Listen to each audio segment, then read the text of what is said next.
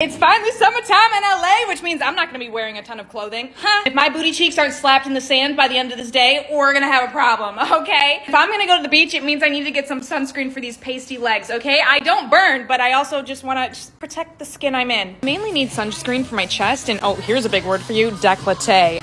Well, I think I made it to the tanning section. I'm seeing a lot of self tanner, which I honestly could stand to use. Seeing this Tan-Luxe, the water, which is a hydrating self tan water how does that work? You know, they have this glow oil, but it's also SPF 50 in it, so you're like glowing and protecting yourself at the same time. And I love a good two-in-one, so this is this is a possible contender. Actually, that's kind of like 100%. I'm already sold on getting that. Or I go with a Supergoop Play. It's an antioxidant body mist with vitamin C. Mm. Or I just go with the old-fashioned Glowscreen body. Listen, there's way too many options here. It's really feeding into my indecisiveness. I say we go with the classic spray. Nothing fancy, but it gets the job done, right? And then to cover all my bases, we'll go with the resetting refreshing mist. My little goodie bag is secured. So